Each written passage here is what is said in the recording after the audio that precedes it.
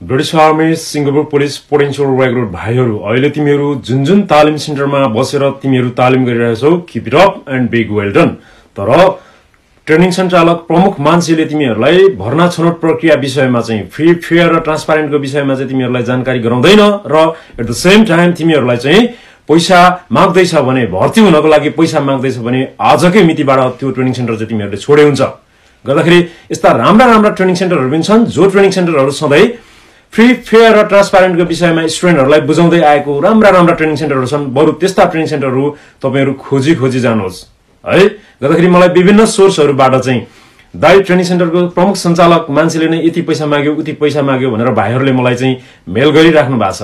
त्यसले गर्दाखेरि तपाईँहरू त्यस्तो दलालीको पछि चाहिँ बिल्कुल नलागिदिनु हुन विनम्र अनुरोध गर्दछु र यो भिडियो हेरेर बुझेर सबैले सेयर गरिदिनुहोस्। जय ब्रिगेड अफ गोर्खाज जय नेपाल।